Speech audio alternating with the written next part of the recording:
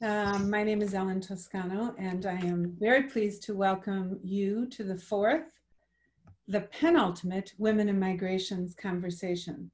More on ultimate later. Um, last week we had a bit of good news in the world of migration. Supreme Court on Friday ruled against the Trump administration's effort to end the DACA program. There are an estimated 649,000 immigrants in the United States who had work permits and protection from deportation uh, under DACA at the end of 2019. So this is at least a temporary um, victory. Um, unless the president backs down, unlikely, or a new president's elected, it could come back to the court. So vote, everybody, if you can. It's the end of my political statement of the morning. Um, this series is convened by the Women in Migrations Working Group, an interdisciplinary project founded in June of 2017 in Florence, Italy.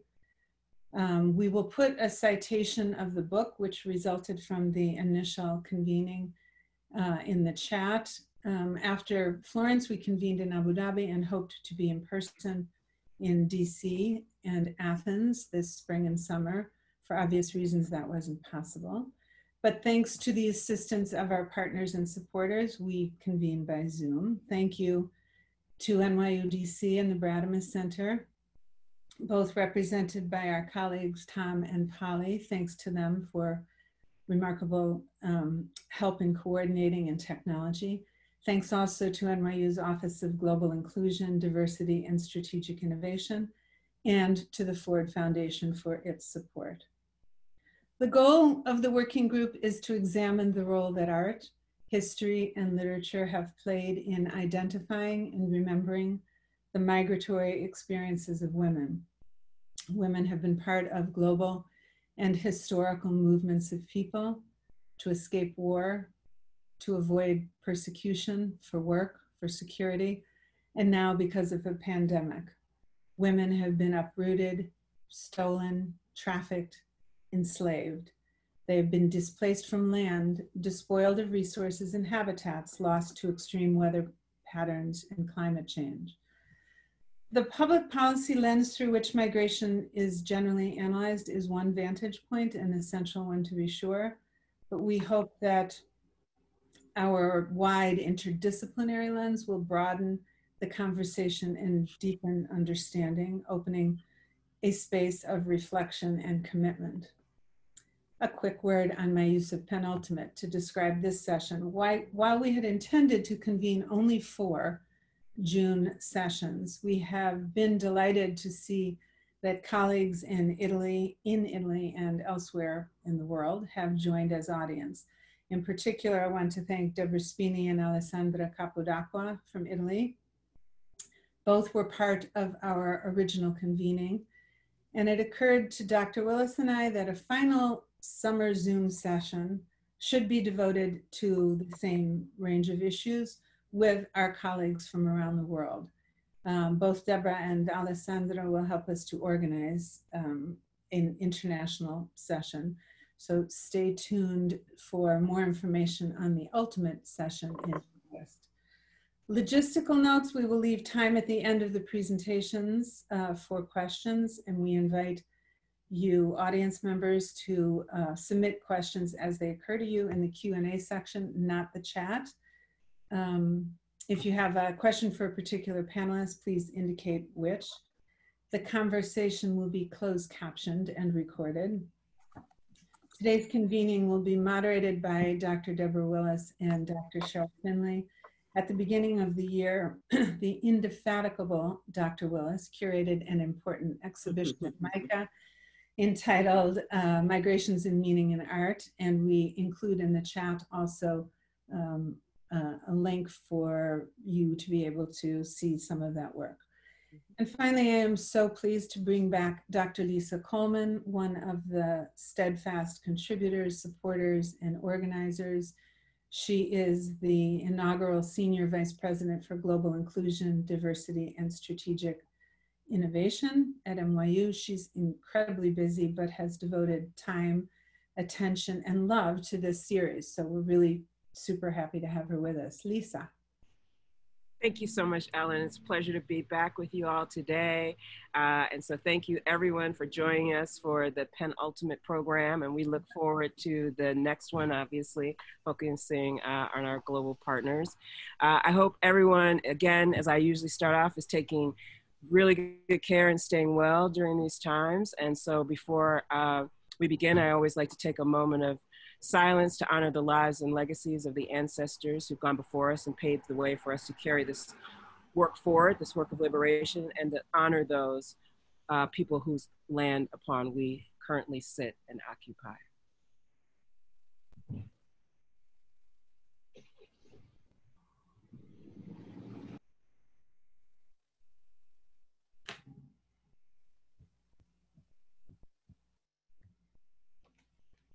I'd like to also thank everyone whose invisible work is so uh, rarely recognized, especially those people working behind the scenes uh, to keep us all safe. And here, of course, I always think about uh, the delivery workers, et cetera, and all of those people. The current social clarity on protest against racial violence brings to the forefront the ways that intersectionality compounds the vulnerability of women of color who are often allocated as, as essential workers during this uh, pandemic.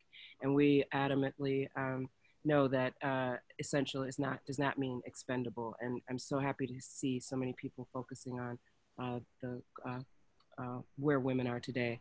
Um, thank you to Deb, Ellyn, Cheryl, Tom, and Tom, and thank you to the uh, IAA, Tisch, 370J Project, the Ford Foundation, NYU DC, Spelman's Aid, UC Art Collective, uh, and of course my team within OGI for all of the great work. Um, we've had a rich dialogue this summer discussing so much of the important of women and their migratory experiences. And thank you to all of the participants. The pandemic and the concurrent uh, escalation of national attention to the deeply entrenched racism in the US and the racist violence globally uh, against uh, people um, has perhaps more than now than ever, right, underscores the urgency and need for these kinds of conversations and to sustain ourselves in the future. Um, this, uh, this program, we've been uh, doing this work for the course of the year, uh, which is focusing on our NYU Women 100 program, and that's really the commemoration of the 100th anniversary of the 19th Amendment. But as some have heard me say before, uh, at NYU, we've been really um, looking at those who were historically overlooked during that moment in the early uh, early 20th century, and how we can focus on um, women of color, uh, transgender, non-binary experiences. Um, so we're happy again to just an honor to be a partner on this uh, 2020 Women in Migration series. And as Ellyn said at the beginning. We had hoped to be uh, to see you in person, but we look forward to that opportunity when we're able to uh, gather again. So thank you again to everyone who's brought us together in this intimate dialogue about the lives and legacies and story of women who have been displaced, made trafficked, enslaved, made insecure historically and today, and how we can come together uh, to connect across our global and generational uh, uh, uh, differences. So thank you again for joining us. And now I turn the program back over to uh, Deb. Uh, the indelible Deb Willis. Thank you. Thanks so much, Lisa. And I'm happy to see all of you here and see over 167 names um, as participants today. So it's really exciting. Uh, we're going to move right into the program, and I'm excited to turn the mic over and the images over to Leslie King Hammond. Dr. Leslie King Hammond is an artist and scholar and a fantastic storyteller. Thank you, Leslie. Thank you so much, Deb. Let me first give my my uh, acknowledgments to everyone. Uh, Deb, Ellyn, Sharon, Autumn, and of course our tech god, Tom. What project could be successful without the people who are behind the scenes supporting us? I um, have spent my professional life as an educator, administrator, curator, and an art historian. And even though I was trained as an artist and loved being in the art world, I was very angry at a young age and sort of lost my innocence somewhere between Emmett Till and reading the diary of Anne Frank. And so I would um, sort of hide in my little world in my room and make my art and never had any intention of showing my art because my art was a way of soothing my anger and my confusion. So my artistic making was relegated to soothing, uh, finding a place of solace. Um, and my home and my studio became a sacred kind of spiritual sanctuary. So, for life as a Black woman in grad school and working in white institutions, it was hard. It's very, very difficult. And I needed a safe place to begin to express myself and purge the relentless atrocities of sexism and racism. So, exhibiting my work did not become a priority until Deb Willis walked into my life and disrupted my entire, I thought, sacrosanct way of living. And as she did that, she walked into my house and I said, Deb, let's go up to my studio on the third floor because I had a townhouse, 19th century townhouse. And Deb walked into my living room and took one look at my mantle, a carved wooden mantle, and she said, I want that. And I went, Oh my God. And it had not occurred to me that I had transformed so many areas into my house into various aesthetic installations and expressions about my life. And it began to be a reality that it was my grandmother in this photograph that you see, who was the one who was the um, one who gave me that unconditional love, that permission, um, that encouragement. Part of it was due, in fact, because I was born with a very rare massive tumor that nobody knew about until I almost died. My mother was a nurse and recognized that something was wrong, and so I had surgery. And this is a photograph of me and my grandmother right after the surgery. I was the first child born in the family. Um, she called me New, Noonie, because I was the new one. And as I grew up, she was always there. Now, my grandmother was born and raised in Barbados all the women on the island were educated in needle arts. So they were fabulous at making all kinds of crochet, drawn needle thread, embroidery, um, um, and, and fabulous seamstress. Tom, next slide. So as I grew up, my grandmother, of course, as you see, dressed me like a little princess because at the time, of course, you could not buy clothes. You couldn't go to the store and shop because these were the days of segregation. And I was a child that was raised by depression culture parents. And so all of my clothes were made by my grandmother. My grandmother came to the United States around World War One. She, gra- she gra- migrated during the Great Migration, the first wave, and she became part of the garment industry in New York City, having settled in East New York of Brooklyn, New York City. Next slide. So here, in this altar that I built, I became, and this is the second altar. I can't imagine. Deb, Deb saw this altar that I made, the very first one, in my home and it was not in this construct, but it had a kind of uh, all of the accoutrements. I began to look very hard at my family. So the works on either side of the mantelpiece are my aunt's crocheted works. One on the right side as you're viewing it are my Aunt Lily, and she was a fabulous crochet uh, artist. On the left side is my Aunt Lisa, who was my grandmother's older sister, and she would do drawn thread embroidery, meaning she would take a piece of fabric and she would remove the fiber to create the designs.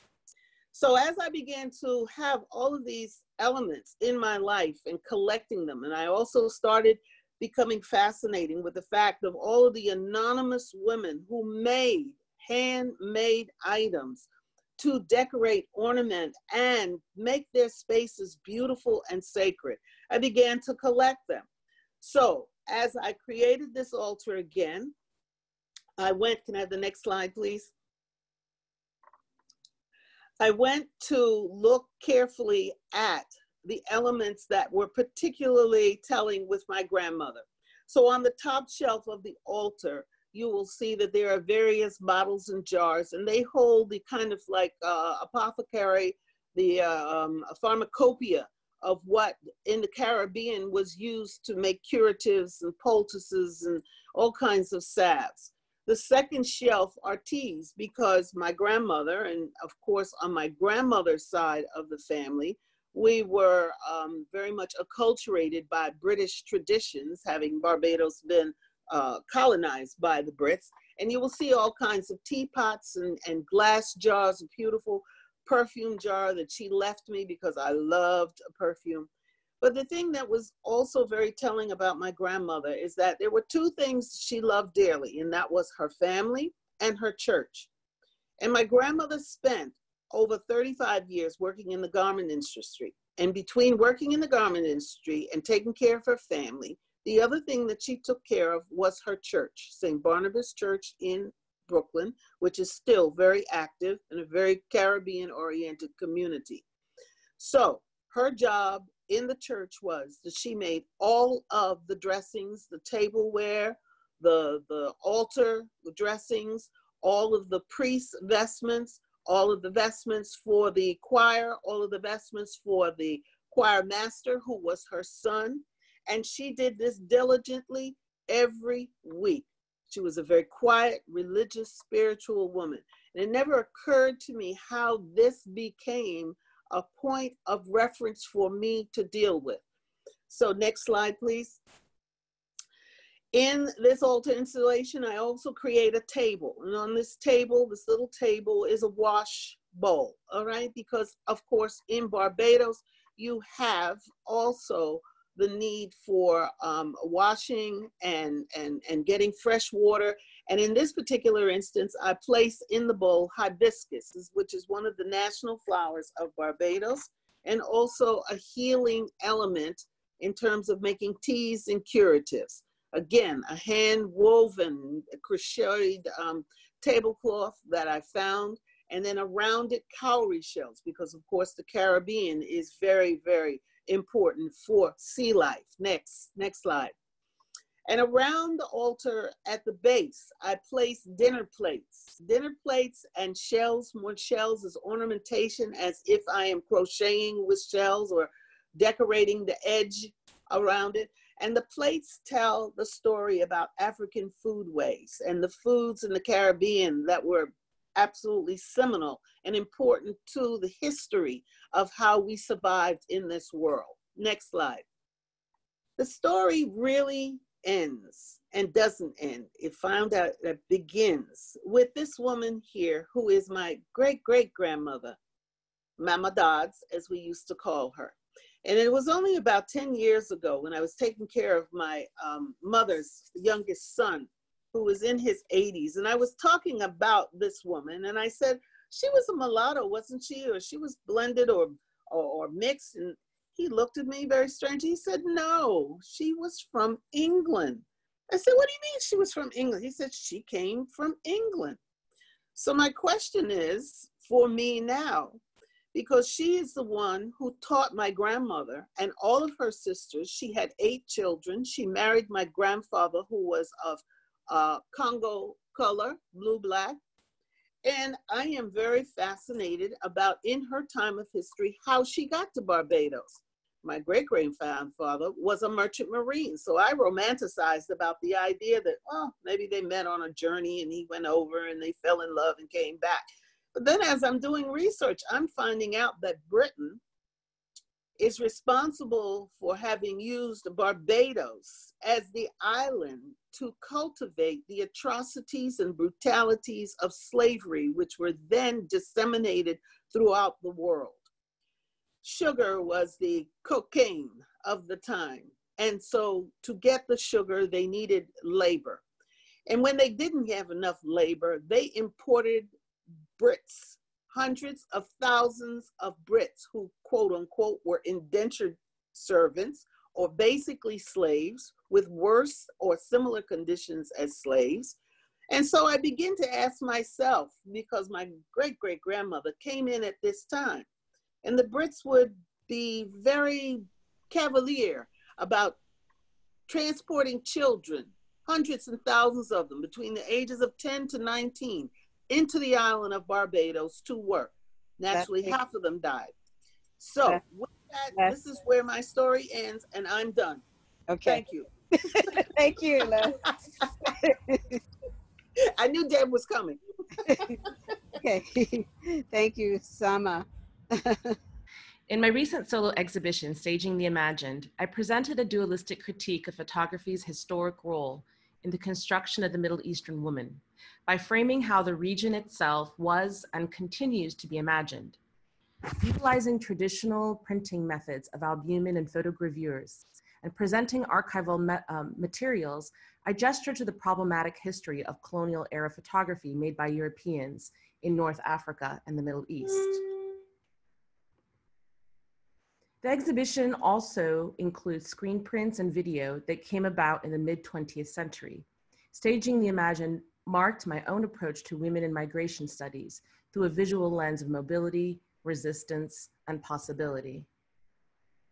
The exhibition interrogates what it means to embody my own position as the diasporic female subject.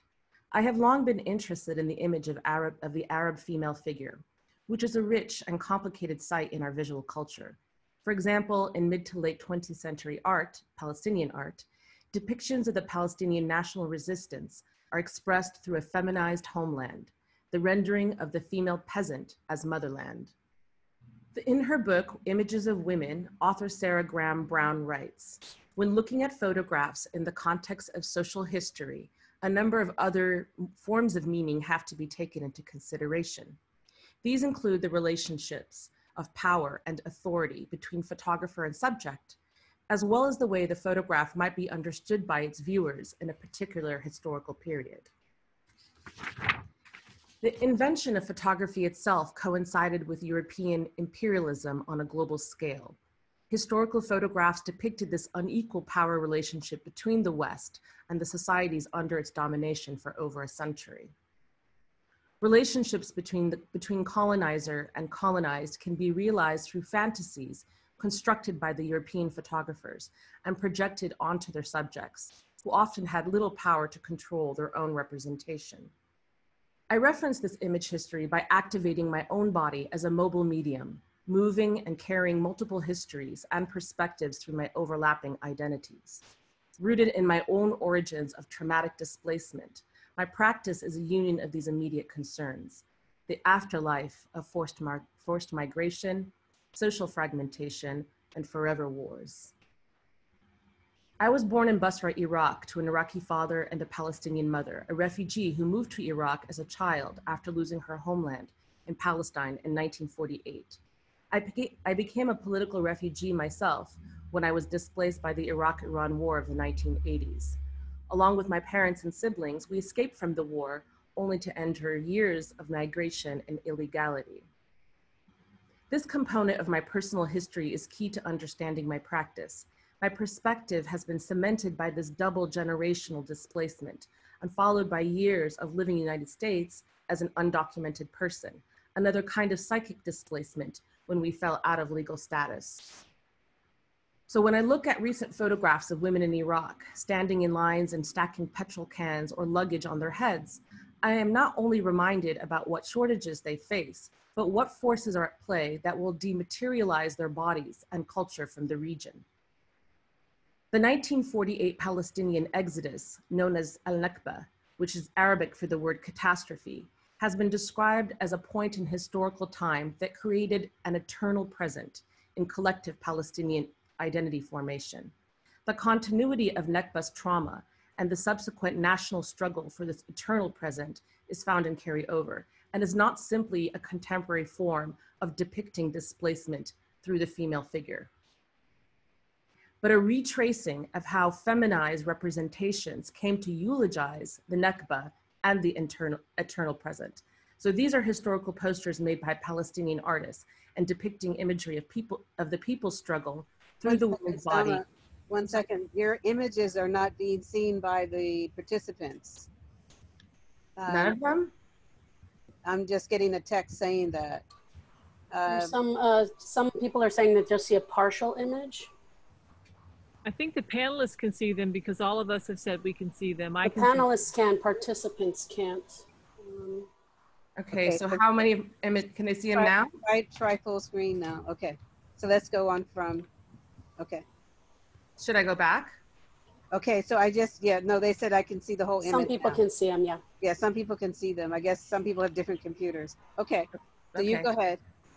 All we right. can, we can circulate the images later too. So All right, I'm just gonna go back one because it's, Okay. it's a little bit important. All right. Um, so um, the 1948 Palestinian exodus, known as al-Nakba, which is Arabic for the word catastrophe, has been described as a point of historical time that created an eternal present in collective Palestinian identity formation. The continuity of the Nakba's trauma and subsequent national struggle of this eternal present found in carryover is not simply a contemporary form of depicting displacement through the female figure, but a retracing of how feminized representations came to eulogize the Nakba and the eternal present. These are historical posters made by Palestinian artists and depicting imagery of the people's struggle through the woman's body and over her head. In Carryover, I ask what photographic repres- representations are among these origins. The first photographs made of Middle Eastern women were often taken to represent the Orient itself and its essential characteristics. Critic Tina Sherwell states that the Orient is not comprised of passive communities and that people of the Middle East were profoundly aware of the image they were assigned in the West. National struggles against colonial powers contoured elements upon which people saw themselves as constituting a nation and the gendering of the visuals that compose the homeland. When I look at recent photographs of women, oops, sorry. Orientalist photographers depicted the region's women as docile and expressionless and positioned them in consistent centered framing. It resulted in a kind of cataloging of bodies void of individuality, the Oriental woman as the other. Meanwhile, in the West, women's suffrage and labor movements had taken root.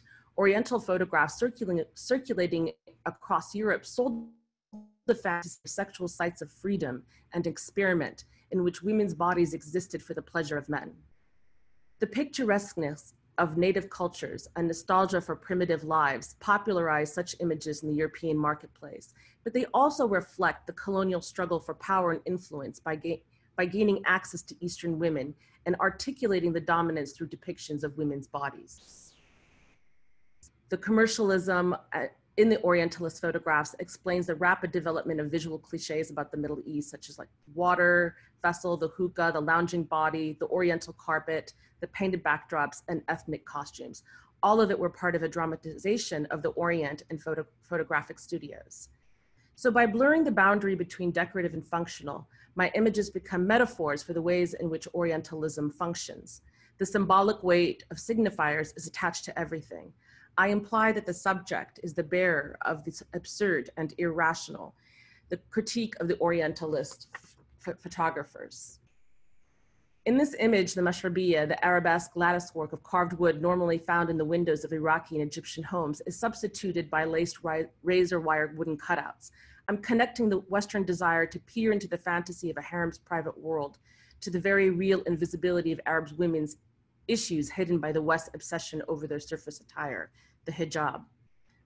I'm especially interested in the interplay of representation of motherland through the female figure and farmer, depicted by the village dress, and the equalization of gender roles in the military struggle and the cultivation of land. Generation after generation recalls the political posters of the Arab revolutionary period of the 1960s. The era's advancements in cheap mass production printing technology provides a means for ordinary people to claim a voice in public space. Leila Khaled was a fighter in the Palestinian liberation movement. Her plane hijackings was widely reported in the international press, and her image circulated everywhere. For revolutionaries, her image was elevated to an iconic status and identity far beyond herself, appearing on graffiti murals across Israel's separation walls in Palestine, as well as on t shirts and memes. Her image served as the antithesis of the docile, op- oppressed woman. The Palestinian kufiya that she wore, which were historically worn by male farmers, is another enduring symbol of Palestinian resistance and one that is often misunderstood in the West. Other popular symbols associated with the national struggle are Al-Aqsa Mosque in Jerusalem and the sacred cap, which is a sacred capital of a future Palestinian state, a sickle, and the key, which are seen on the subject's belt, symbolizing the homes to which Palestinian refugees have no right to return to. But with my addition of the hollowed out travel trunk over the subject's head, the image also signals the worthlessness of cultural objects as representations of homeland. While I can symbolize homeland, I cannot take my homeland with me. The container is a dysfunctional shell, unworthy of housing anything but my dispossession. And finally, here I depict the empty jute bas baskets to carry the harvest of our land, as if filled out with the emptiness and void, and remembering its own former function and purposeful bounty. The baskets hover over my head, looted, uprooted, and suspended, and mirroring my own position as the diasporic female subject. Thank you. Thank you. Thank you. We'll have plenty of time for, with questions, um, follow up. Adama Delphine. Passageways, secrets, traditions, spoken and unspoken, truths and untruths. My family, my being was and is impacted by migration and immigration. I am the first in my immediate family to be born in America. My parents migrated from Sierra Leone, West Africa in the 70s. I think about the violence of colonialism, so violent that independence only meant a new form of colonialism. I'm haunted by the idea of leaving home for a new and better life in a place of opportunity. But this place also dehumanizes you and benefits at the same time from your home, from the fruit of your home. The secrets from home, the longing, the stories, and the imaginary of one day returning home to liberate it and to start something new is what keeps us all going. This photograph of Grandma Adama was my comfort and connection to the faraway place that my parents called home. I only met her twice in my life, when I was four and when I was 20. The stories that I heard about her was how she would hand make, um, hand dye fabrics, batik fabrics, and she used that money in order to send her children to school, to university. Also, the story of grandma during the Civil War and how her and a whole bunch of other women, elderly women, escaped the war through the forest to find refuge in peaceful places. When I first learned to read at the age of seven, I performed, performed my first act of resistance by questioning my mom, why is the encyclopedia calling African savages? Back then, I didn't realize that I was instinctively fighting the delusion of white supremacy. All throughout my educational experience, I was bombarded and attacked with stories of the civilized saving the uncivilized. But the stories of home, the libations, the pulnadors, the deep-rooted Mende and Bube ways of being that extended beyond European contact is what keeps us going. In my art, I often use fabrics hand-dyed by my grandma Adama. In this photograph, I am embodied by a fabric that she made with her hands and that my mom wore and then now it's with me. I'm laying comfortably on my mom's body, which is the most comfortable position in the world, but stories are always being transferred back and forth. I think about lineage, kinship, even beyond my immediate family, the stories and strength that connects the Black Atlas, power in the shape-shifting nature of us, despite of. My family history is complex. Grandpa, Grandpa Valcarcel, my mom's father, was an Afro-Cubano. During the early 1900s, somehow he returned home to Africa. I'm not sure if this was a symbolic return or if he actually knew his heritage. I've never met him because he passed on before I was even born. Pa Valcarcel settled in Equatorial Guinea, had a rum business throughout West Africa. He moved back and forth between Sierra Leone and EQ he met my abuela, Margarita, who was a very young person, and he had many kids before her to the point that he actually had a child at a certain age that was the same age as my grandma. Um, abuela Margarita had many children, including my mom. And she tells me the story about one day her dad came and said, I'm going to send you to live with your sister in Freetown for better education and for a better life my mom was resistant to, resistant to this move because she was only seven years old. Um, mom did eventually get used to her new home in Freetown, but shortly after the Civil War, after a Civil War um, happened in Equatorial Guinea, her mother had to move to Valencia, Spain, and mom and grandma were separated for over 10 years. They did not find each other until 1988 when mom had already immigrated to the US. My dad had big dreams. He moved to the United States with a bunch of his buddies to attend the New Schools for Social Research. They all had this dream of, of obtaining PhDs and then returning home to change this newly, this new independent nature, um, nation. Unfortunately, the, the struggles of being an American in this, in this it, it, he, he was never able to change his, you know, go and fight for freedom in his country. I often visit Sierra Leone. I often visit Sierra Leone, and I'm often conflicted between the spaces of the past, the present, and the future. This home is the home that my mom grew up in, and I wrote a little something for her.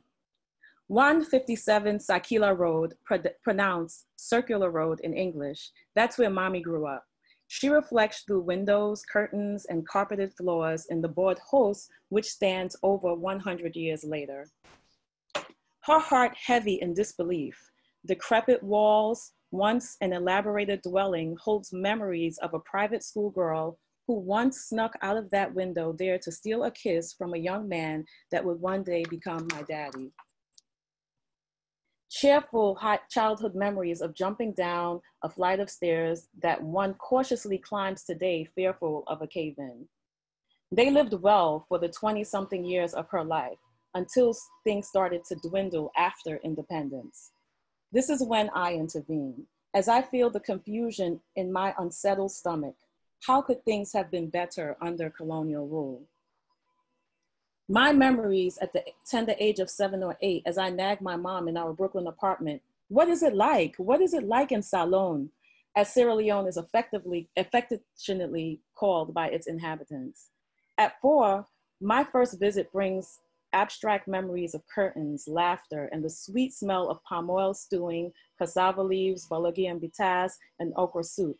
I didn't recall the cannibals, savages, and the scary place that they described the dark continent to be, in school, textbooks, and on TV. I was embarrassed and confused for the first time. Why did they do that? I know too much now. My heart is heavy too, and I challenge her as, as she proudly confesses. Your Uncle Donald and Bethann Macaulay sued the hell out of the Sierra Leone Golf Club for their whites only establishment. Can you imagine the nerve? Your uncles were in court with them for many years and won. She dwells on an imperfect past that was much better than today. I dwell on a past before her past that had to be better, a better foundation for what could be today. We both dwell from a distance, soon to return to the comforts of our Brooklyn apartment as the dwellers in our family home are uncertain of a future that can flourish with some investment, if you ask me. She seems hopeful and at times helpless, as I often wonder what would have happened if she stayed and they never came and we were left alone? But the future prevails. Okay. Thank you. I that's fantastic. I'm, I'm fascinated with the stories and the mothers and grandmothers. I would like for um, participants to please place your questions um, as we're moving through the process. Carolina? All right. Um, Hello, everybody. Um, just really briefly, I want to thank everybody, um, Ellen, Cheryl, Deb, and of course, Tom for putting this great program together and for inviting me to be a part of it. So I only have eight minutes, right? So I'm going to jump right in. I'm a visual artist originally from Colombia, and I moved here uh, a long time ago. So it's been almost 20 years living pretty much in this area of Washington, D.C. And um, my work is um, socially and politically oriented. I talk about issues of migration, which is one of the subjects of this um, conversation. Uh, and it's related to women. I my I, in my work I talk about um, um, violence, uh, war, women, how we get um, they get or we get uh, caught in the in the conflicts, and uh, a lot about uh, gender and um, cultural identity. And so um, the first image that I'm showing here, it's from a project that is called um, pigmentation. Instead of pigmentation is pink, P-I-N-K.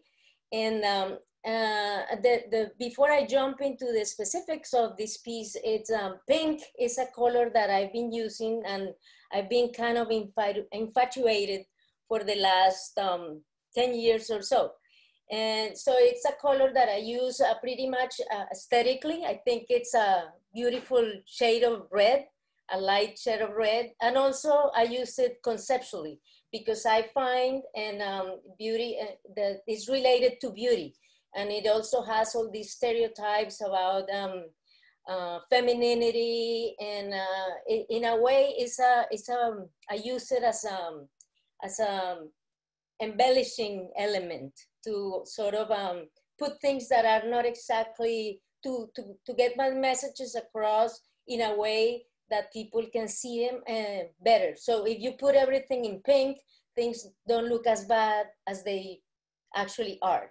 So that piece was made in, um, in um, for a festival in Charlottesville, Virginia, or a festival organized by Ed Woodham titled um, Art in Odd Places. He usually puts together these um, festival in uh, New York City, but uh, he decided to bring it to Charlottesville in 2018 to honor the victims of the tragic events that happened in Charlottesville in 2017. So basically my piece was, um, I was just in this outfit walking around, um, giving little pink cards to people in the street to pedestrians. And basically, I was listening to the song La Vie en Rose, uh, interpreted by Louis Armstrong.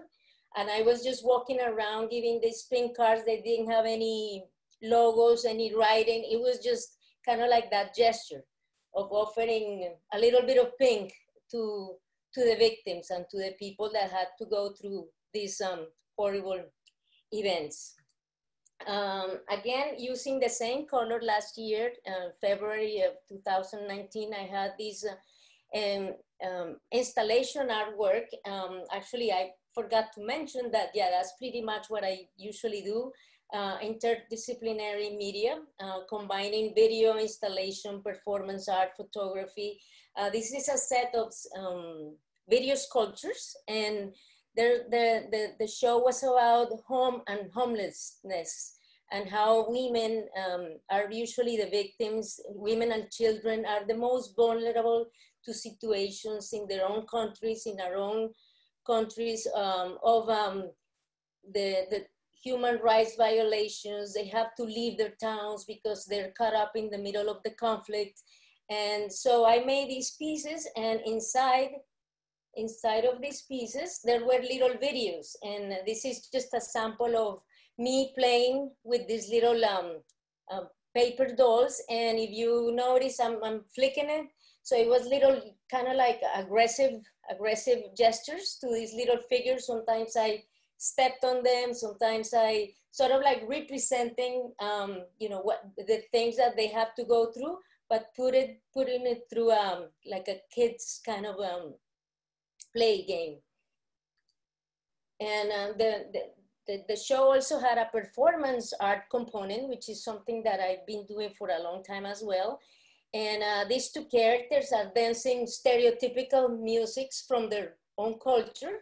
By, and then the, the piano player is, is com, com, he composed, he's a musician that composed the songs for um, that people would be listening to uh, while I while we were performing. The difference was that if you notice one of the characters, we were um, we were uh, playing music through headphones, stereotypical music, and then the audience would hear uh, what he's playing. So the, this piano, it was um, he created his own compositions around sentences and excerpts of um, different testimonials that um, I found on, on the Inter-American Commission of Human Rights, like women, they have a space for, for um, at the OAS, at the um, Organization of American States, to come and voice and um, denounce the situations that they had to go through. So I found um, a lot of testimonials, but I used just um, uh, excerpts uh, for, from some of them and some of the notes, some of the keys of the piano, instead of playing the actual note, it played the sound of some lady, um, just uh, little sentences from these testimonials. So it was a, a whole, a whole um, sculpture project. Uh, this piece here, it's um, some, some of the works I've done, and I think I presented this at some point at NYU for a um, DC for a show. It's called Made in the USA, uh, not made as M-A-D-E, but M-I, M-A-I-D, right? Like a, um, like a maid. And then, so, cause it's, it's playing with the stereotypes of um, La Latino immigrants or immigrants that always um, perform these kind of occupations in the service industry. So we, we sweep, we wash, we, um, in this case, I was sweeping.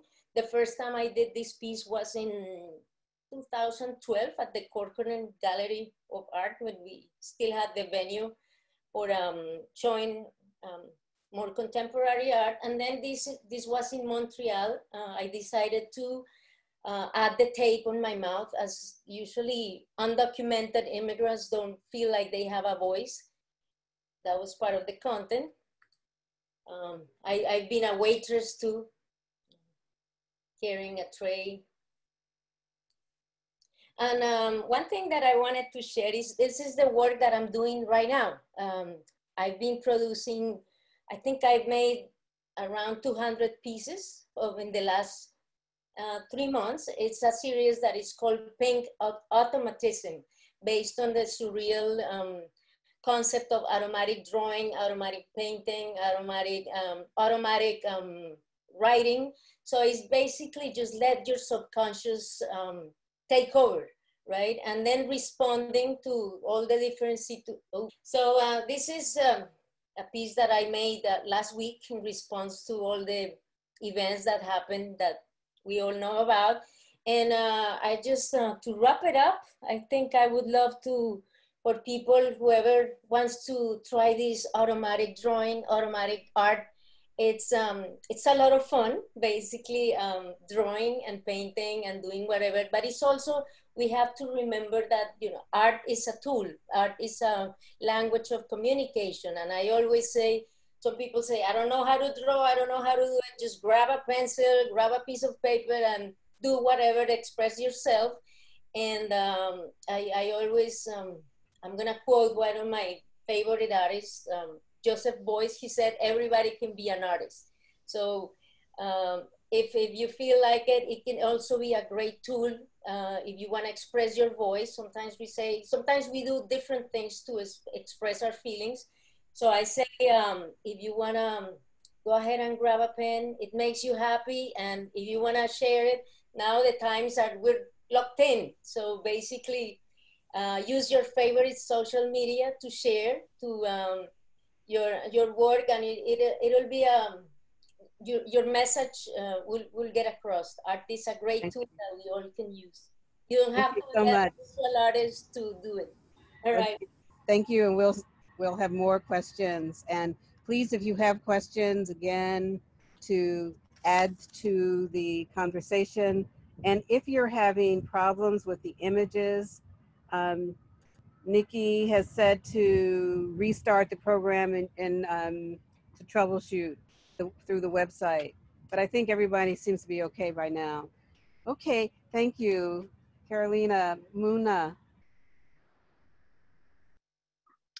Hello, everyone. Um, so my name is Muna Malik. I am a multidisciplinary artist uh, based in Los Angeles. Uh, I started my career as a photographer, um, but my photography always kind of focused on identity um, and less about the complexities of whatever camera I was using and more about expressing emotion or conversations that I was trying to have that oftentimes words just couldn't connect with.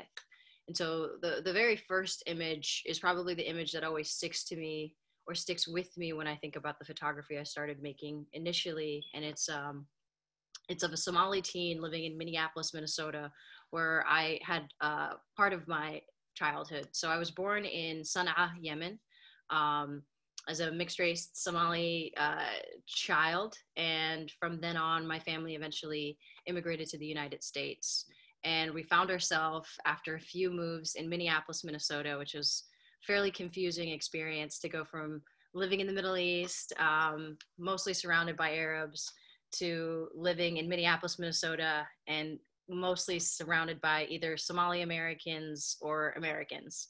Um, and at that point in my life, I hadn't really met any other Somalians outside the folks in my family. Uh, I couldn't speak the language. I spoke Arabic and English. And so I found myself looking like a lot of my peers, but completely feeling out of place because I didn't really fit with my American counterparts. I didn't really fit with my Somali counterparts just because we had very different childhoods. And so, in that time as a teenager, I found myself con- kind of confused and, and, and trying to figure out, like, identity wise, where I fit in.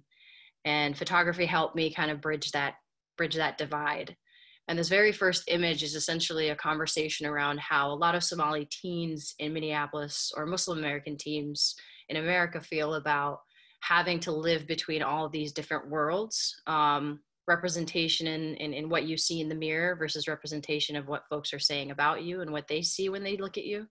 Um, cultural representation as in cultural garb that you know oftentimes our parents would want us to wear to school or or food that your family would want to bring and having those key identity markers being used against you outside the context of home kind of would always just be this this really hard struggle and so this image kind of encapsulates that for a lot of, of, of somali teens mostly men in the in the community where religious uh, how religious you were also came apart and how you kind of expressed yourself outside of your home. And so in 2016 or 17, I did the show called Behind Both Fences that exhibited at the Humphrey School in, in um, the University of Minnesota. And the exhibit basically was uh, a few different sets of portraits that studied basically the intricate dance that immigrant teenagers perform as they negotiate identities and navigate different cultural spaces.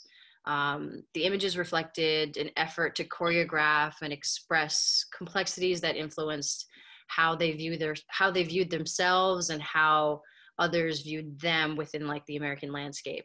Um, oftentimes grappling with like anti-immigrant discourse, um, one at a national level, which I think we can all kind of see in the world that we're living in in 2020. Things haven't really changed too much, um, and challenges faced within um, internal immigrant communities, right? Um, oftentimes these teens felt fenced off and disconnected from home or fenced off and disconnected from their peers outside of the home. And so this was kind of one way that I wanted to help showcase that with just a simple photograph that I think a lot of people can kind of connect to. Um, next slide. So with that in mind, um, as I kind of reached more into my adulthood, realizing that, you know, I'd spent most of my childhood um, not really connected to my Somali heritage or my family's or my mother's background specifically. Um, and so I kind of set out to do some identity discovery. And so in 2008, um, I took a very impromptu trip to Somalia, uh, to Somaliland specifically, to kind of just explore and figure it out on my own. I didn't really reach out to anyone, didn't have any real connections to connect to, um, and kind of just explored for a few days. So these next few shots are kind of just set the tone as to like the townships and cities that I was walking through. Um, but with Somali culture, within the very few first few days of talking to um, one person at the hotel that I was staying at and another person at a restaurant, I immediately got connected to this entire network of people that in a lot of ways were just trying to help me meet family members that I either didn't know existed or had no real connection to. And so this is kind of what the environment really looked like. Children playing, families that happen to have goats would just like let them roam. Um, this was on the outskirts of Hargeisa. Uh, next slide. And as I continued to navigate the outs, uh, the city, people would kind of using names. So um, in Somali culture, your name is attached to everything about you as far as like cultural identity and familial identity. And so, using my name and my mother's name, people were able to find, um, you know, second cousins and, and, and everyone else that you could possibly think of. And so, in that journey, I found myself every two or three days in a new township further and further outside of the city. And where the next photo project I'll speak about kind of started is when I finally got to this um, this family's home, which wasn't really what Americans kind of view as a home, but probably the most happy people I've ever met in my life. Um, so they're kind of nomadic. They decided after the Civil War um, and a lot of the bloodshed that was was spent during the Somali Civil War in the 90s to kind of just get away from city life entirely. They didn't want to be a part of the refugee um, be a part of refugee camps just because as you'll see in the next few photos there are a few um, younger kids within the family and they wanted to provide a sense of home and safety. And in doing that, they kind of went back to the nomadic traditions of Somali culture. Um, next slide. And so that meant living in a lot of homes like that and setting up different like shade structures, essentially in the middle of nowhere. Um, and this family in particular was very fortunate to have a few different forms of livestock. Um, in Somalia, livestock means wealth in some ways or just livelihood. Um, and in the very far back of this image, you'll see that there was one camel that was kind of free to roam. Um, next slide. And so as I was continuing to do um, do this trip and meet more and more people, I found myself disconnected from the view that I had imagined I'd find in Somalia. So specific to photography, a lot of the imagery that I'd seen in the past was just black and white, people really sad, people kind of distraught um, a lot of the imagery I'd found was post Civil War, or I shouldn't say post because Civil War in some ways is still kind of continuing, but um, just people having like really sad faces and, and, and, kind of a disconnect. But when I received, when I was received by a lot of these people, it was the complete opposite. I think I, I could see the history in a lot of people's um, faces and the way that they welcomed me in, a complete stranger, was was a bit surreal in a lot of ways. And so what I found myself was um, I never actually picked up my camera the first few days that I'd met people. Um, I just spend time talking with them and learning about different stories. Uh, Somalis are considered to be poets, and storytelling is one of the best things that they can do using poetry. And so I would find myself just sitting with people and and hearing these like incredible tales of either people that I'd never met before but were familial and connected to me or just stories about the country and all the history that they'd had. And so at that point I found that people would then as these stories were going and people got more and more comfortable, they would kind of ask for their photo to be taken, some of which would never actually seen what their image looked like on photo. And so I happened to have a Polaroid and like a small point and shoot digital camera, and I managed to capture some of these images. And um, one thing I kind, I think, kind of speaking to some of the some of the work that's been spoken to about before me is um, I'd found that a lot of people's experiences with photographers were um, the best way to describe it is is is take the shot and walk away you know like very disconnected experiences oftentimes with with white men. Um, and so some people that would initially weary were kind of surprised that i was also a person that had a camera with me and had a very different encounter with them. And it immediately changed the experience of photography. Like they'd even make jokes um, in, in somalia uh, the way to reference a white person is is, is called adan and so they'd often say what would they technically we would say is um, we're used to just white people showing up and taking photos and walking away, you know? And so for me, the experience completely changed when it became a more about like what image of yourself do you want to keep with you, you know? And so these next few shots are people's comfort opening up and letting me um, kind of capture them in the moments that they felt right. And uh, it was probably the best experience I've ever had. Um, and I plan on going back once COVID COVID ends um, for a few more shots of of connecting families in Somalia with their counterparts in Minneapolis because a lot of families have actually been disconnected due to the immigration ban. And that's my Thank time. You. Thank you, Muna. Thank you, guys. Great. Um, we're seeing comments. People want to talk to you about how beautiful the photographs and the stories that we see Great. Um, well, hello. Um, I'm Mishal El Sai, and I'm an artist and photographer from Bahrain. Um, I wanted to first of all thank the organizers for including me as part of this talk. Um, I'm going to focus mainly on Arab and Arab immigrant artists um, that uh, talk about um, unpacking personal histories and histories of home through image making. The first photo I show here is Bouchra Khalili's The Mapping Journey project, which kind of details eight, um, individuals' um, journey through the Mediterranean basin um, and uses the the image of a map as a, a way to kind of track the movements of these individuals.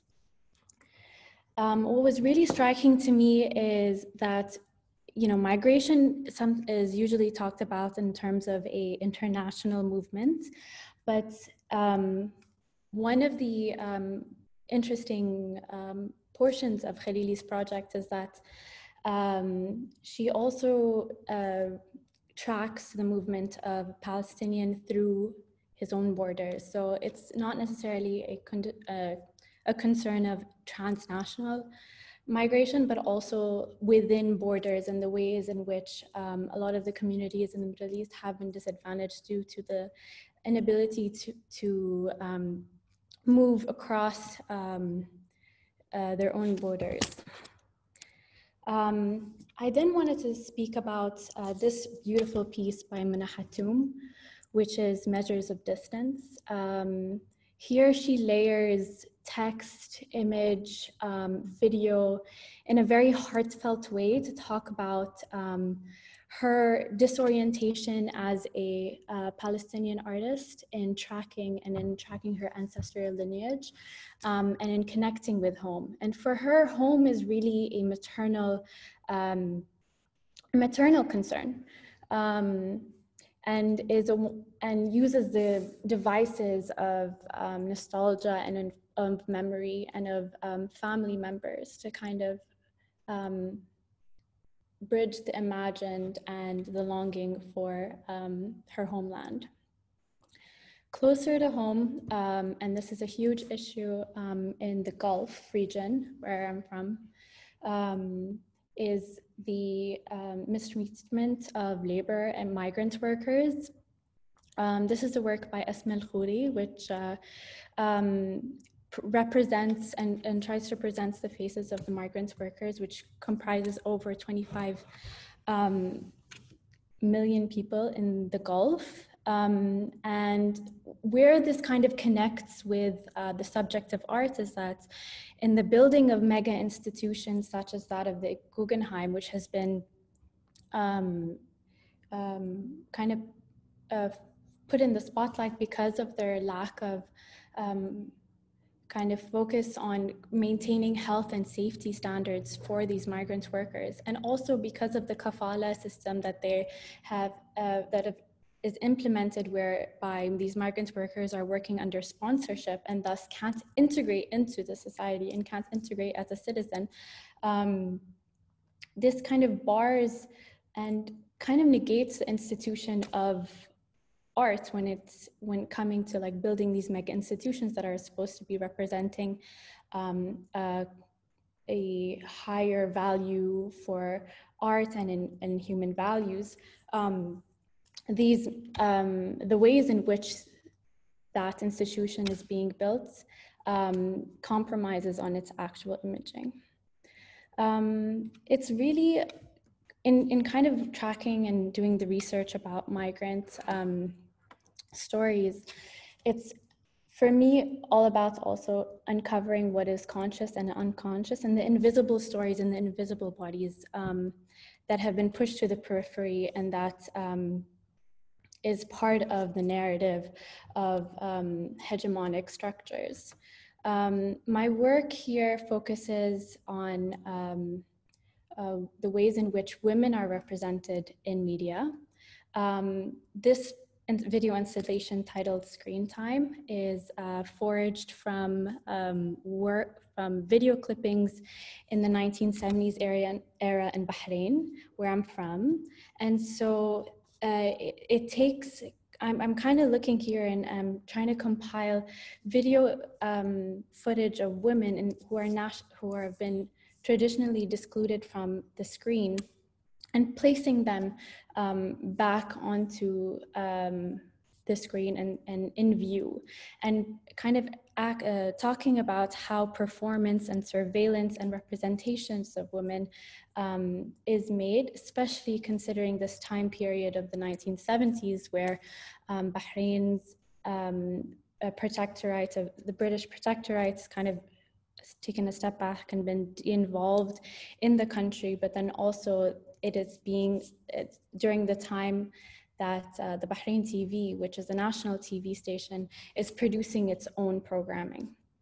Um, as um, as a Bahraini artist and in tracking this idea of memory and representation and um, my own ancestry and in the work of archiving material, I think it's um, I think it's really humbling um, and it's really amazing to be looking at these Arab artists that are um, focusing their work on um, issues of the imagined homeland and in navigating these anxieties of home.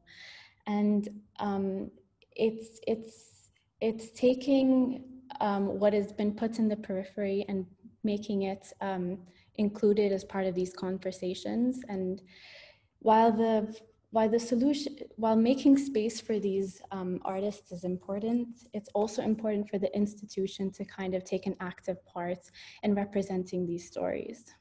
Thank, Thank you, you so much. We look forward to our questions. Okay, Louise. Africa, Europe, and North America, with operations based out of New York, Geneva, Lisbon, and Luanda. Our hope is to bridge continents and connect people through the common language of art. Our goals are inspired by the three sustainable de development goals of the United Nations, quality education, gender equality, and reduction of inequalities. We all know how essential these issues have become and how important it is to educate our stronger, uh, how important it is to educate our youngest mind about them. Okay, so to continue, uh, these goals are reflected directly in our curatorial model and translated into our exhibitions and programs to let th this focus actually led me to focus on models like new museology and new institutionalism. Models that started in the 80s in the rise of civil rights movement requesting for equal exhibition opportunities for artists and artists of colors, issues that we still have to address today. So basically new museology uh, advocates for more open narratives and also to bring the community to the art space. So my focus um, is on to exploring narratives that don't necessarily provide ready answers, but instead provoke questions and reflection. One example is the exhibition of Ana Silva that I curated in our pop-up space in Geneva, which I'll talk more a little later. So I wanted to bring up this 2019 diversity study in the major US museums collections the study found that 85% of the artists are white and 87% are men. Only 12% are women. This is significantly out of step with the US population at large, which is 61% white and 50.2% male. So we just hope to promote uh, diversity and ensure women and people of color are represented equally in all areas of our institution. We wanted to empower women and we set the example to other institutions to follow. In response to that, our curatorial model also focused on the representation of female artists from Africa and the diaspora. I would like to, uh, to introduce three such artists, some, from, some from our collection, who are decisively impacted by the migration experience. So the first artist is Ana Silva. She is, uh, for me, uh, the perfect embodiment of our vision of inclusivity and diversity. Uh, she's also uh, experienced the, the migra she had the migratory experience very deeply. She experienced that very deeply in her career. Uh, Ana is from Angola, from a mixed background. Her grandfather were white Portuguese and her grandmother and mother were black Angolan. Her work, uh, her works reflect the influence of colonization on Angolan culture, both in meaning and medium. Lace, uh, where she favors a lot, it's actually from Portugal originally, but here they are used in an African context. Um, migration had a great had greatly affect her life and her career. Ultimately, she could only become an artist by living in Angola, where art materials were very scarce and there was no really access to art schools. Uh, the, the country was also raged by civil war. And when she moved to Europe, she encountered uh, another problem. Uh, she she found an art world that was dominated by male in the same way there was back in Africa. So with the support of Africana, we were happy to give more uh, visibility to Ana's work. And she could, uh, she was selected to uh, by um, the Dakar Biennial in Senegal this year, as well as uh, the Africa 2020 exhibition of the Modern Art Museum in Paris is scheduled to open in September. So now I'm gonna talk about Frida Orupabo. She didn't experience migration herself, but her father did. She was born to a Norwegian mother and a Nigerian father in Norway. Her link to Africa was never broken, but remains essential to her work. Orupabo often uses colonial photographs to investigate the way Black women are portrayed as hypersexualized and as a subject of curiosity, curiosity and study. Africanity is omnipresent in her practice, and she exemplifies uh, this inherited, what I call actually this inherited intellectual migration uh, that she actually uh, inherited from uh, her father. She mentioned in an interview that her memories from her early, early childhood are often related to the questioning of her identity, but she's fascinated with the idea of Nigeria and Blackness. So the third art that I wanted to talk about, it's Njideka Akunyili Crosby. Her work draws from her experiences growing up in Nigeria and then immigrating to the United States in her late teens. She used the technique of acetone transfer, and Crosby adds collected images from family, friends, or also magazines, uh, found images that she transferred uh, to the canvas or to the paper. And that actually works perfectly with the message that she wants to pass that is this idea of the transfer from a place to another or um, how something's always lost during this transfer. When she's using the acetone technique, something's always lost. Crosby sees her role as an artist to highlight the Black immigrant experience. She also um, wants others to experience, others that who experience immigration and migration to feel seen, she's interested in representing immigrants and their experience, but she's increasingly interested in the, expressing her anger, uh, the anger that she feels as a Black woman living in the United States. So to conclude, I would like to leave a message. Uh, I think it's really, art is definitely a very powerful tool for expression. And in times of crisis, I think it's very essential that we use it also as a vehicle for change and empowerment. Thank you, Louise. Thank you very much. Okay, thank you all. We're going to open up and come back together. Um, Cheryl, you will begin with um, the questions. Thank you so much um, to all of the presenters for sharing your work and for beginning this dialogue in art. And I'd like to begin actually by asking each of you presenters if you have questions for your for your co-presenters today, or any of your sister colleagues today before I uh, go to the questions that have been submitted by our participants. I'd like to make one question. It's, it's fascinating that lace mothers and grandmothers are linked to most of the work.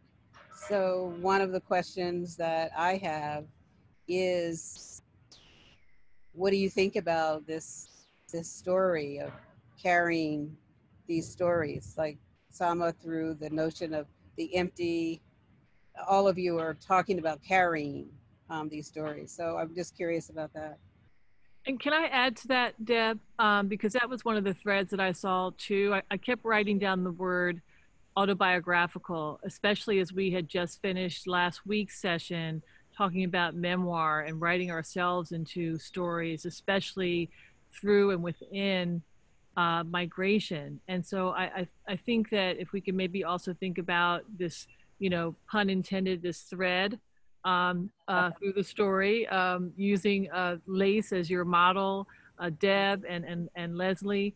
Um, but to think about, you know, these kinds of threads, even through um, you know, when I look at um, the work um, that, you know, that Sama and Machel have, um, have also presented, Muna as well, through the veil um, and through different types of fabrics. So maybe if we could talk Mm-hmm. about um, autobiography as well and sort of, um, you know, this notion of, um, of how many of your stories are, are multi-generational stories um, going back and, and sort of tracing through migration, family roots. Mhm. Um, I'll take a stab at it um, because I've been obsessed with lace and fiber and the interlacing stories that come from generations of women who have uh, not found means um, in mainstream canons to have their work recognized, expressed, and affirmed. Um, I often look at the doilies and the laces that I have from my family's collection, who actually executed them, to the to the unknown anonymous women work that we don't know that has been discarded as mandalas, um, as meditations, uh, personal meditations that I think help them get through the traumas of their migrations, of the lives that they were living, of the families and the responsibilities that they had. And so, in the in between spaces of the laces, I also look to position elements. Sometimes I put shells in those open spaces because the shells also evoke sound and they have texture and they have layer and they have memory and they have positioning and oftentimes women's I, I know that my grandmother i have her her small sassafras baskets with the lace handkerchiefs in it and shells that were on the outside and shells that i think she had a particular affinity for that she kept in this little sacred box. So i think it's an area that that bears uh, the need of a, a lot of in-depth thought and i too was very struck by the multi-generational stories of women who were connected to their grandfathers and excuse me their grandmothers and their great grandmothers and the use of the fibers especially um, the dyed fabrics. Oh i wanted to see those more and more and more. Um, these are stories that we've lost and we need to reclaim, um, find ways to make them more paramount in our history. Anyone else? I'm sure I'll go. Uh, so, in a lot of my um, work, you can see um, the Palestinian thobe um, and the embroidery work that is on there. There was actually an image that I probably didn't have on that PowerPoint, but um, that's actually called spools, which is threads.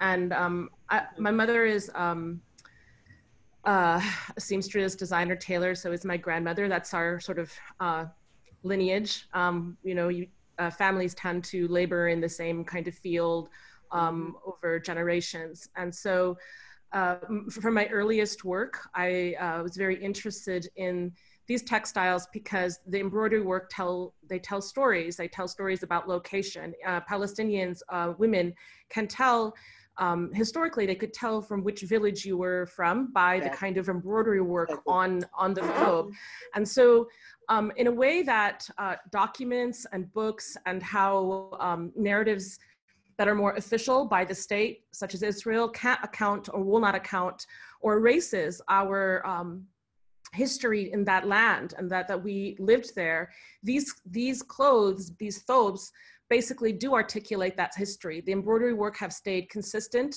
for over a thousand years.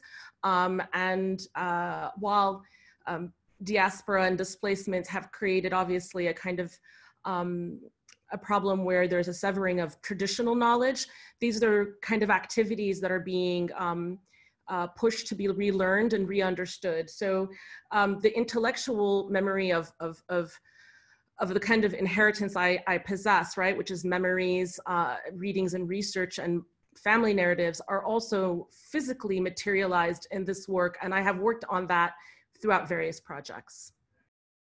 I just want to jump on that last statement. Um, I think, Sama, you put it really well in your talk about the feminization of land and the ways in which the land is considered female, um, especially in terms of um, ancestral storytelling and in reconjuring of um, um, like childhood stories um, in the region and worldwide. Um, there seems to be a correlation between the land and the female body and the ways in which we carry that on in stories for children and in the way that we imagine the land as, as a mother, as someone that we welcome back to and um, we can connect to through our ancestral lineage.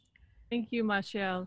So I want to kind of continue along, again, pun intended, uh, on this thread. Um, and there's a question here um, for Delphine um, about uh, fabric and textile. Why was it important to involve textile in your photographic series? Why batik specifically? Does it hold particular metaphors? Yes, it does. Um, actually, my grandmother, that's how she um, sent her children to school was by hand making batiks. And in her um, town in Pujehun and um, West Africa, Sierra Leone, she was known for her fabrics. So you could see it anywhere and you'll know that Adama made those fabrics. And so that was the one thing that connected me to home, this place that I always knew to be home, even though I was born here in America, were these fabrics. So even the fabrics that you, you're seeing, they're some of the many of them are older than me so i've been collecting them so it's very important for me just as everyone is saying to continue you know to continue to share these stories and you know make them live in the world because it's a you know it's, it's a sign of living and a sign of continuing and evolution so yeah, it's very important. But then I also think about the fabrics and the way that, in which the batiks are made as a as our as something that is metaphoric for identity and how our identities are so layered and so complex. Like even when you think about the process of making these colors and patterns and how they all, and I, and I like to think of identity as not this, you know, monolithic thing, but this thing that's completely complex. And the more that we see ourselves as complex beings, I think that the more closer we are to uh, humanity. Yeah. Great. Thank you, um, Adama. Uh, sorry, there's a B. Um, so there's a question here from Deborah Ambush, um, and it begins, Dr. Hammond, uh, Toni Morrison talks about going to the site of memory and interpreting the remains of what is there. And, and this is, I think, coming from the piece that with some of the panelists who were on, um, Ellyn, you were there, of course, and, and Deb too, from last week when we talked about memoir. We were talking about Toni Morrison's work on memory. Um, and so the question continues, and I, I, think this is a question that, um, that I'd like for everyone to consider. Um, the question is, what is liberatory about this act of artistic interrogation in the midst of our double strand pandemic of racism and physical genocide? Where does apartheid collapse from ancestral memory? Where does apartheid collapse from ancestral memory? And again, I think we can we can continue along thinking about you know fabric and veils and and different layers of, of memories. We can think about the onion. We can think about the land and and you know growing and and also sort of the rhizomorphic nature of memory as well in addressing this question. Okay, as we address this last question, we only have seven minutes and then it will cut off directly. So just remember that as you wrap up. One of the things that, and, and, and the question is powerful and it goes right to the work that I see in all of us that we're doing. Uh, uh fiber has, uh, I'm, I obsess about it. I dream about it. I, I even save my hair because I figure it's a fiber and I, I need to figure out how this fits within the story because I have stories in my family with that lineage. But with fiber, I also look at the fact that it is an empowering, liberating form to work in. Um, I cannot work on with my fiber without my scissors. And my scissors are a power tool to me because I can cut and I can reframe and I can section out works and images in ways that have meaning to me regardless of how the fabric was woven or how it was dyed or how it was found in a Goodwill shop, I then have the power to reframe its context and put it into the proper narrative that I feel is critical to the story that I want to tell. So just to follow that up, Muna, you showed um, the homes of the way that people were right the shades it's the same type of quilting Right. fabric same Mhm. use that leslie and and delphine and, and carolina are Right. describing um, Right. you want to follow up with that in 30 seconds yeah um, i mean I, I think leslie's kind of answered it and most of our, our, our talks spoke to it as well um, in somali culture specifically fabrics are life right it's what you Mhm. carry down generationally and all the fabrics that i've received from my family all have histories that i don't even know Mhm. Mhm. Yeah. So i think as as we all continue to work maybe it's finding ways to eh, elaborate on how all the different fabrics actually have ties to each other across Right. continents and across Right. culture And one thing I just wanted to add to Muna with regard to the first image that you showed, that that photograph, it it's so Carrie Mae Weems mirror mirror. I don't know if you have anything to say about that, if that's something that was an influence for you. I think everything that Carrie's done has been an influence in, in a lot of the work that I produce. But yes, I mean, I think uh, identity formation and uh, questioning is a huge part of a lot of the work that we create. And she's one of the greatest artists to, to, to push out work like that. Can I just add one other thing that's very important about fiber that what we seem to kind of dismiss in a certain way? Fiber structure is interlocking, it's interwoven, and it is a metaphor for life. All right. So when we don't have life functioning in the way that we envision or hope for, it is a a substance, a, a materiality that we can deconstruct, reconstruct, repurpose, upcycle. It is so fluid, it is so porous, it is so flexible to the narrative traditions, to the oral traditions of our ancestry that women, we almost do it unconsciously. We are hardwired. We're literally hardwired. And so as we Leslie, before awake, carolina has a, um, a point Yeah. that's really great No, just just to add really quickly that um, in one of those pieces that I showed, I'm wearing um, typical Col- a typical Colombian dress for cumbia dance, and um, so I usually use these customs as as symbolic.